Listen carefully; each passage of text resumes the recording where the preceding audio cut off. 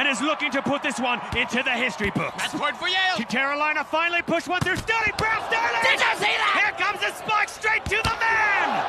The man! The legend! His teammates help him to his feet. No! They raise him up.